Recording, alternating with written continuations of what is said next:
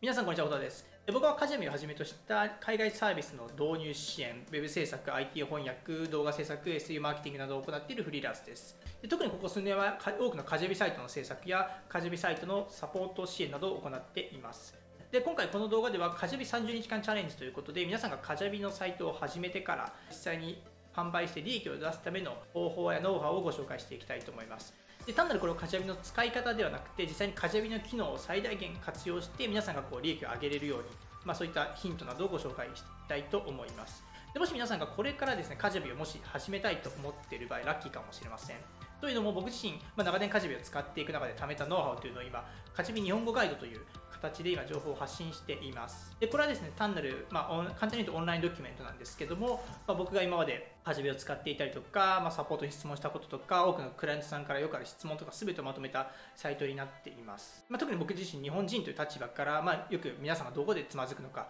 どういうところで疑問を抱いてるのかっていうのもあの全て日本語で解説していますので、まあ、これを見るとですねあのカジビは英語なんですけども、まあ、特に抵抗なく使うことができるかなと思います。でこちらのサイトは僕のリンクからカシミの無料トライルを始めていただいた方にも無料でアクセス券をお渡ししています。詳しくは動画の説明欄をご覧ください。なので今回のカジビ30日間チャレンジの動画のシリーズを見ていただいてもし興味を持った方はぜひまず無料トライアルから始めていただければいいかなと思います。そしてまず日本語ガイドをゲットしてください。おそらく今この動画を見ている方はもしくはカジャビで何かできないかなと思っている方だと思いますので、まあ、ぜひこの動画が参考になれば嬉しく思います。それでは今回の動画ご覧ください。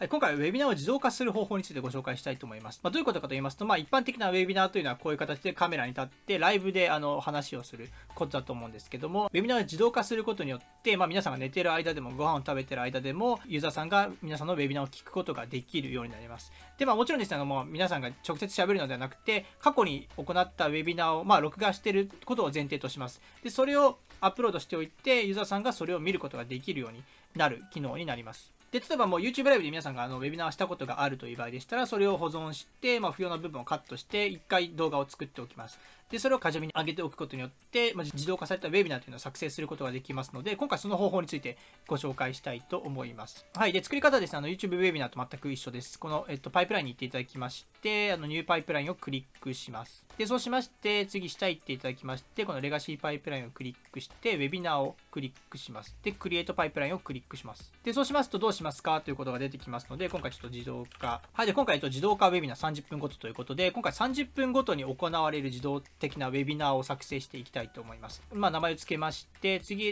ウェビナーのタイプどうしますかというのが出てきます。で、事前に録画されたウェビナーということで選択をします。で、じゃあいつから始まりますかということで、例えばこれじゃあ10月から始めるとします。10月の1日から始めるとします。で、今回の自動化ウェビナーで売りたい商品は何ですかというのが出てくるので、まあ、例えばちょっと適当に、まあ、Photoshop の入門編というオファーを選択します。で、これでパイプラインを作成します。はい、そうしますと、今また、えっと、カジャビがパイプラインを作ってくれました。で、まず、えっと、ページの構成どうなっているかと言いますと、まず、レジストレーションページですね。これはあの他のウェビナーと同じで、まず登録、登録のフォームが用意されています。で、ここから登録があると、そのフォームとイベントが紐づいているので、フォームに入力したユーザーが自動的にこのイベントに登録されます。で、えっと、今回、えっと、3つのメールがあります。3つのリマインダーメールがあって、えっと、イベント後に1つのメールが送られるようになっています。これまた後で見ていこうと思います。で、えっと、登録があると、まあ、もちろんイベントに、まあ、内部的にイベントに登録されまして、実際はユーザーさんはクリック、送信をクリックすると、このまた確認ページに飛ぶようになっています。で、その後にまたメールのリンクから、この自動的にウェビナーのルームに入ることができて、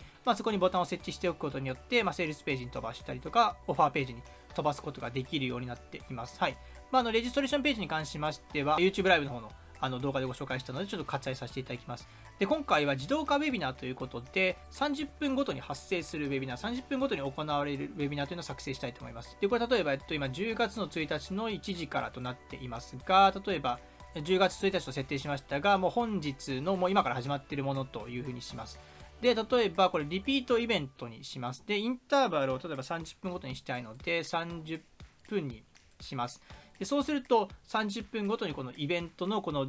オートメーションが始まるようになります。で、どういうことかと言いますと、一旦これをセーブ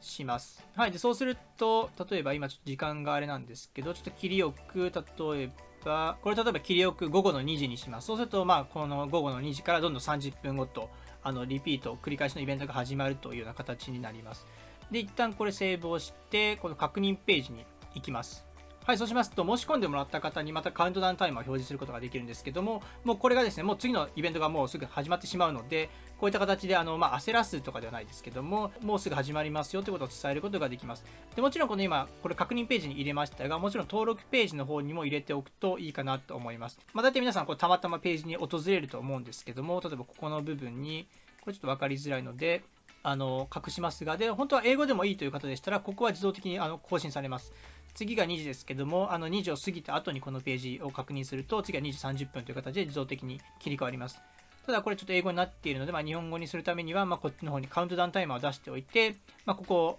を日本語に置き換えていただくと、まあ、たまたまこのページを見た方が、あと18分じゃん、じゃあちょうど時間あるからちょっと見てみようかなって形で登録してくれる可能性があります。はい。これなかなか効果的なので、あの活用いただければと思います。で、こういった形で、まずレジストレーションページを作成します。で、イベントが30分価格で始まるようになっていますので、まあ、次の時間ですと、あの、17分後に始まるというような形になります。で、次どうするかというと、このウェビナールームですね。ウェビナールームに行きます。で、ここもまたカスタマイズする必要があるんですけども、まずこのタイトルですね。まあ、これはあの皆さんも自由に決めていただければと思います。まあ、自由に決めていただければと思います。まあ、こういった形で、まあ、今回のウェビナーのタイトルを入れます。はい。で、ここにですね、今3つの画像というか3つの部分があります。で、どこれどうなってるかと言いますと、まずこれ、イベントが始まる前の見え方です。で、ここがイベント中の画面です。で、これがイベントが終わった後の画面です。で、もちろんあの、これ今管理者なので3つ見えてますが、その時に応じて見える画面が変わってくるというような形になります。で、ここにイベントビデオというのがありますので、こちらをクリックします。で、そうしまして、まず動画をアップロードすることができるので、まず動画をアップロードします。まあ、今回はあの既存のアップロードのものを使いたいと思いますが、こういった形でまず今回のウェビナーとして使う動画をアップロードします。